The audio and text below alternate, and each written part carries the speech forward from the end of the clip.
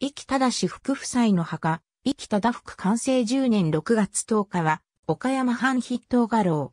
生き家八代当主。通称は長門。主君は、池田知世、清世。中福は、六代当主、生きた直樹の長男で、病弱のため敗着となった、忠義の長男として、岡山で生まれた。母は、忠義の側室、佐藤氏。七代忠友には、子が多かったが、着手の長九郎が創生したことを理由に、本来ならば、家督を継ぐはずであった、忠義の長男を養子とした。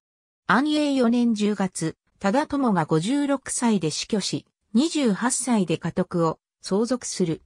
安永8年、旗本、小堀国直の娘、春重と婚姻する。一木家と小堀家は、代々隕石関係にあり、春重は、幼少の時から中福の母に養われていた。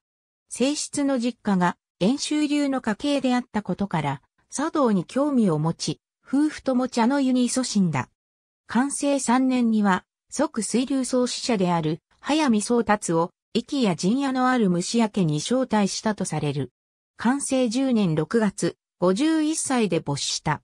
死死がなかったため、岡山藩画廊、池田博道と七代、忠友の娘の次男が九代忠真として、生家の家督を継いだ。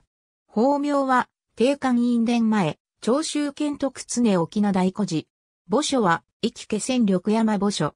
ありがとうございます。